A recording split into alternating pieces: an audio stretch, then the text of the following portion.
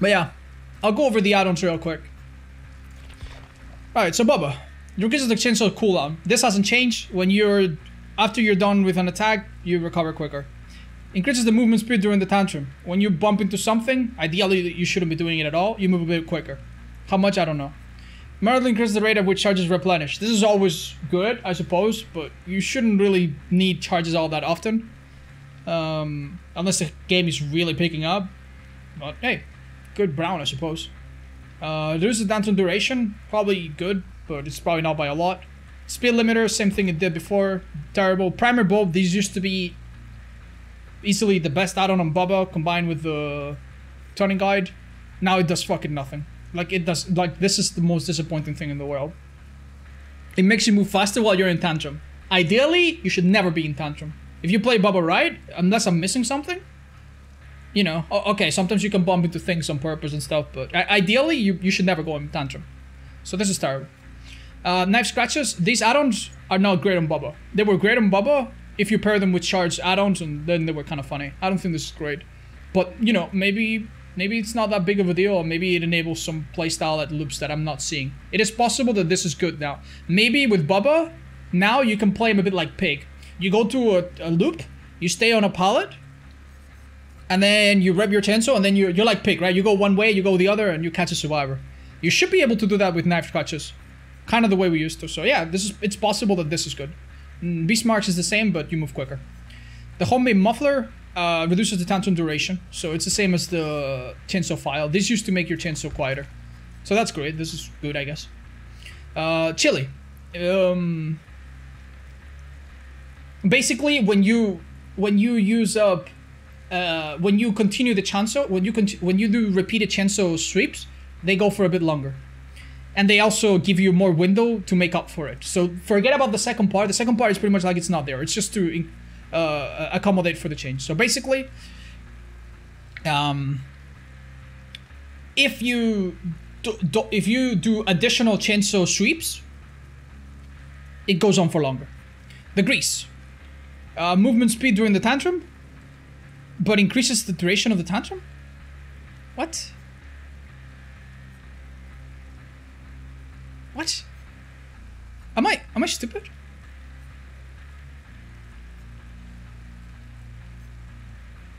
Are you telling me that the, the, the green add-on is a straight downgrade to the yellow add-on? What? What?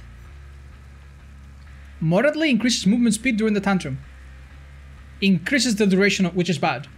Moderately increases movement speed during the tantrum. Shouldn't this be the other way? Or not be at all?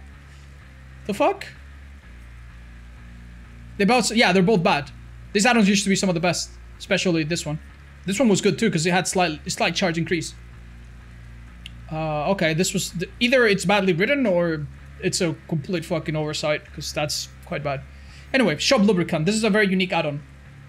Um, when you down a survivor and there's no one around them, um,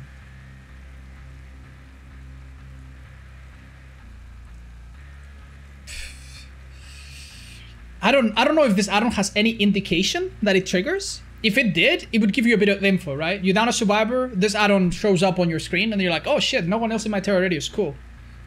I'm gonna hook him then. Or someone else in my terror radius, hmm, let me check behind this rock, see if there's someone. But I don't know if it gives you any info. If it doesn't give you any info, I think it's garbage. But, you know, whatever. So I hit uh, for the chainsaw, sorry from the mangle for 90 seconds. That's alright. Uh, Chainsaw hits make survivors drop their items. That's kind of cool. I like this one. If there's nothing else that really helps with Chainsaw, this one's someone that you could slap on if you see a lot of items. The rest of Chains uh, makes it broken. I don't really know if broken is that great of a thing on a kill that can insta down, but, you know, could be good. Alright, 90 seconds. Um, light chassis. This is, this, I like this item. This one seems cool. I don't like the fact that it reduces your movement speed while revving. This means that hitting people with your chainsaw is probably... I don't know how slight that is. Sometimes slight is slight, and sometimes slight is, you know, half. but it shows you the art of survivors. That's kind of cool. It's a, it's an interesting item. Uh, the, de the depth gauge rake is actually quite interesting. Instead of having three charges to do three sweeps, you can do four sweeps. but it does increase your charge time, so it's like the knife scratches. Honestly, it seems like a straight upgrade to the knife scratches, right? Why the fuck would I want to be quicker when I could just do it for longer? Yeah, although maybe these ones help more at loops. Yeah, we'll see. We'll see. We'll see. Oh, dude, I really want. I want one person to practice this with. I want to go on loops and see if we can like become a chasing Bubba. Right. So that's one thing. And then the award-winning chili, which is an upgrade to the previous chili. Increases the dash duration when a token is computed. Uh, moderately increases the additional chainsaw window. I don't feel. I know I've, I've only tried it once. I don't feel like it's a huge deal. I couldn't like feel the effect a lot. So I'm gonna guess that these are not super impactful, but they, they, they might be for all we know. And now for the ultra rares. The Iridescent Flesh is super straightforward. If, if there's two survivors in the basement, and one of them tanks a hit, let's say, um, you you can even if you were out of charges, you can hit the other survivor if he's running away because you get your charges. One thing I think you might be able to do, and this could be pretty fucking crazy, if a survivor has borrowed time, you can hit them with your chainsaw, recharge it, and then keep using charges. And even if they have borrowed time, you might be able to catch up to them. Kind of like Legion. You know Legion? You hit them, you catch up to them, and then but without the cooldown. So this could be actually really good for camping, believe it or not. We could test it. Um, then we got the carburetor tuning guide, and this is really interesting. So the carburetor tuning guide takes all of your charges. Normally you have three charges, right? So you can use zoom, zoom, zoom, and then zoom, zoom, zoom, and then zoom, zoom, zoom. Three charges. This takes all of them, consumes them at once, and then you do the nine charges or the or the nine sweeps or whatever or however many you had. So this is actually kind of cool. Uh, you let you you charge your chainsaw and then you go and then you just keep doing it for like 20 seconds or however long it takes. Tuning guide. Did I say tuning? Yeah, tuning. Thank you. That does help with the pronouncing. Tuning. I don't know how I pronounced it the first time, but hopefully you guys get the point. So, I, like the the fact that it increases the duration is not that noticeable. The the fact that it decreases the speed is probably bad, but if you go for that long, it's not that big of a deal. And the charge rate, yeah, it's not. It doesn't seem that awesome, but like once you get it going, it's like training wheels. If you're a good Bubba, you should be able to use your chair, your charges in a smart way. With this add-on, you just do it and the charges just go by themselves. So that's kind of cool. But it doesn't seem like ultra power. That's how I that's how I see it. Hmm. So that's the add-ons for Cannibal. Let's go over the ones for Billy, I suppose. Right, so for Billy. You have add-ons that this is as far as I understand it, this is bumping add-ons, right? So the steel steel toe boots makes you reduces the bumping. Uh, so does the low kickback chains. This also reduces bumping. And that's it for bumping add-ons. When you bump into an object, you know, this is like if you're new to Billy, you can use them. Next we got the junkyard air filter. The overheating limit, which, you know, happens when you use your chainsaw for whatever reason, the cap is bigger. And I'm gonna guess, based on previous add-ons, that it's 10%. So if there's 100, char 100 charges to overheat, this is probably like 10%. Based on the other add-ons on other kills that do the same thing. Then we got the Dad's Boots, which makes you move a little bit mm, better. Which is the opposite of the Heavy Clutch. The Heavy Clutch makes you move a little bit worse. But it makes it easier to bump into things as you go past them and not actually bump into them. I, it, it's like you can use them together and then you have the same steering, but you don't bump into things as, as easily. So you can brush by them and glide around uh, alongside some walls and objects.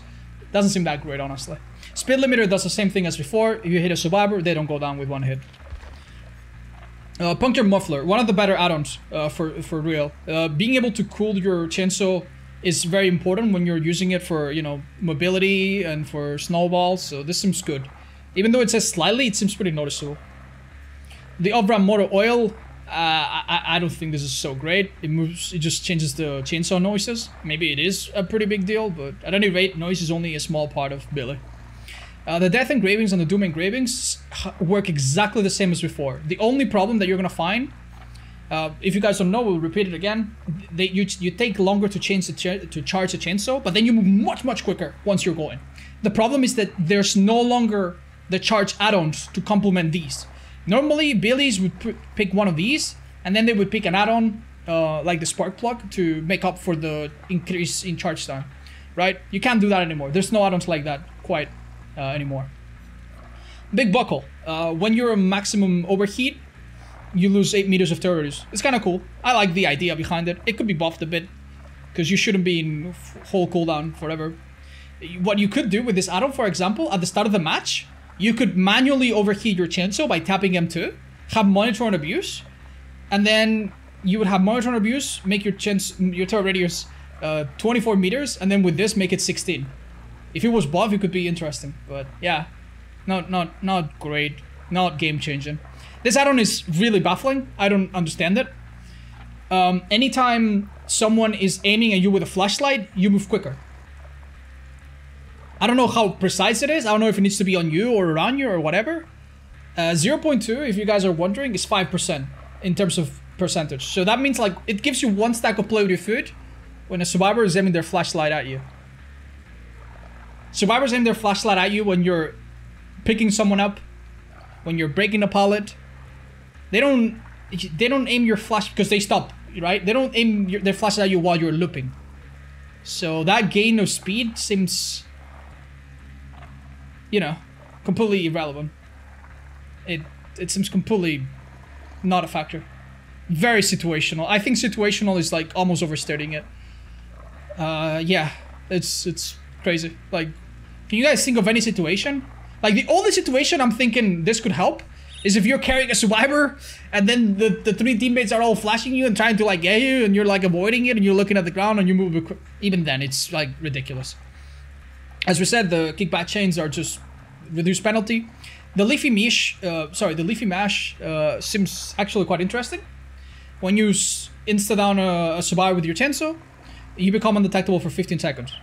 So you can down them, and it's a bit like Dark Devotion. Leave them on the ground and you know go do something else. It also pairs a lot with the Apex Muffler, but we'll get to that. The Black Grease is weird. It's like a Tinker on the go. If you get stung by a pallet, sometimes survivors use that opportunity to blind you. They can do that for, for a few more seconds. Uh, I don't really think you need this add-on, but okay. And Tune Carburetor. This is the craziest add-on in the game uh, for Billy right now. Like, it's it's just so weird. This is the only add-on left for both Billy and Bubba that increases your charge time. Sorry, that improves your charge time. So normally Billy would take 2.5 seconds to use his Chainsaw. And with add-ons, you could cut down that by a little or by a lot if you stack them together. One of the main complaints of Billy is that you could stack those add-ons together and then use your chainsaw in like a second and a half. It was, you know, it was it was very very quick, very crazy. This add-on is the only add-on left, so it can't stack with anything else. That increases your charge, that improves your charge time, but it does it at the cost of making you a 4.4 killer, which you know puts you next to Huntress, Spirit, Hag, uh, Deathslinger, all those other killers that chase with their power. This is terrible. This is uh, quite bad. That means that if survivors are really smart and they play around windows and stuff, you, you can you're gonna have to M1 them and you're not even gonna be able to do that consistently. Uh, so yeah, you could have you know carburetor turning guide and doom engravings, and this would be the closest thing to like you know crack Billy in the past, where you have a chainsaw that's still a little bit faster than usual uh, to charge and really really quick once it keeps keeps going right? The problem is again if survivors you know just force you to m1 and then they start playing around stuff you, are a 4.4 killer. And if you are really using your chainsaw to insta down everybody you might as well overheat because you don't have any add-ons to prevent the overheating. So that's how i anticipate this would work. Quite bad stuff in my opinion. Thompson moonshine hasn't changed. It makes you steer a lot better and it also makes you uh, bump for longer when you do hit something. Quite bad. Uh, Pighouse Gloves, in my opinion, probably the best add-on right now for Billy. Uh, when you begin your chainsaw, anytime you begin it, even if you fake it, you gain a boop, like a big bump in heat, uh, which quickly adds up. You begin, you fake it, then you're down a survivor, you use your chainsaw, start again, go someone, start it, fake it, bam, you're already overheated. With this, it's a lot less noticeable. If you combine the Pighouse Gloves with the puncture muffler, uh, purple and a yellow, you pretty much have old Billy, almost. But without add-ons. Jack Nessie, thank you for the dono. Uh, could you pair that charge time with plate food? I mean, yeah, but then anytime that you use your chainsaw, you lose it. It wouldn't be very wise, in my opinion. Uh, Apex Muffler, one of the most interesting add-ons. And if everything else was right, I would be really happy about this. Outside of your terror radius, whichever that might be, the, the chainsaw is silent. That means that if you have no terror radius with like the leafy mash or with, you know, smaller terror radius with monitor and abuse or dark devotion or whatever, you are completely silent. Um, both in terms of terror radius, obviously, and in terms of chainsaw. That sounds fucking scary and super fun. And I really like it. This could be a, a pink add-on, in my opinion. Uh, now, the pink add-ons are a bit disappointing. So, heads up. The low pro chains is the first one. It's basically... Um, it's basically the speed limiter. It makes survivors not die with the chainsaw immediately. And it gives you the ability to chew through pallets and keep going.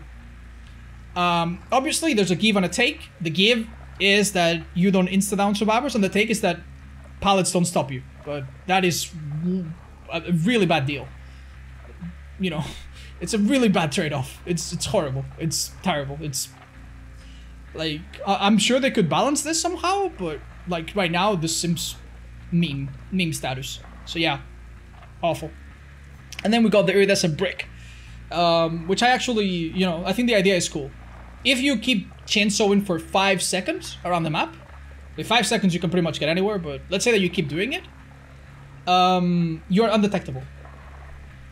So if you pair this with the muffler, if you chainsaw towards a gen and take five seconds to get there, by the time you arrive, you'll have no terrorists and no noise. Problem is, yeah, that's not that's not gonna happen because you can reach anywhere in five seconds. So I, I, I don't know what they were thinking. Maybe this should be three seconds or two seconds. I, I don't know. It's weird. Um, my first early impressions with both killers, I'll go with Billy first, is that using your chainsaw in any way, in any creative way, you know, feathering, using it to break a pallet, then using it to fake it, but then using it for real and then going around the corner, it, it's gone. Like, you cannot do that. Like, it builds up heat way too quickly. Especially without atoms. and it's very, very punishing. The heat takes a really long time to... If it's nearly full, it takes 30 seconds to go down. And if you fill it up completely and then overheat, it takes 15 seconds or so to go down. That's a long, long time. Um, if your chainsaw is nearly heated and survivors start playing smart and they try to juke you, you have a lot of pressure to land the chainsaw because it can overheat before you, you know, fully rev it. Um, there's a lot of issues like when the chainsaw, when you're resting the chainsaw and you're losing progress on the charge, it's st it still overheats. So yeah, the, the heating is way too punishing. And these add-ons don't really help too much. And the ones that do help, I mean, that's great, but now you're just using add-ons to correct the problem that wasn't there before and you don't have anything to help with the rest. So over overall, this nerf is way, way too cruel to Billy. If you were going against good survivors, Billy already fucking struggled, and he does need some of his best add-ons uh, together to keep up. Nerfing or making sure that those add-ons couldn't stack would have been a good idea. This is, in my opinion, a little bit too much. As for Bubba, his base kit seems to be a lot stronger. Uh, he doesn't slow himself down as much with chainsaws, which is great. Uh, that means that in a 1v1, you should be able to use your chainsaw a little bit better. There's a problem though.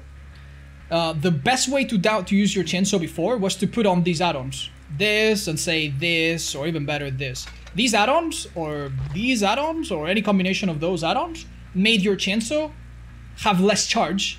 So you could get very close to a survivor, and even if they were really close to a window, you could rev, and as they were going through the window, you could hit them. Uh, if you watch some of my videos, you'll see that happen all the time, especially with add-ons, right?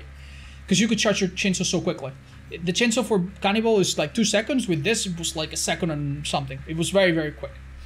Uh, you, you don't have any of these add-ons anymore. These add-ons do not increase your charge time. There is no add-on on, on Bubba that helps the charge time.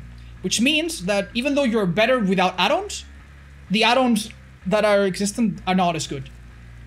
So, if you thought that survivors had too much of an easy time getting to windows, I'm afraid that it might be just as bad or even worse now.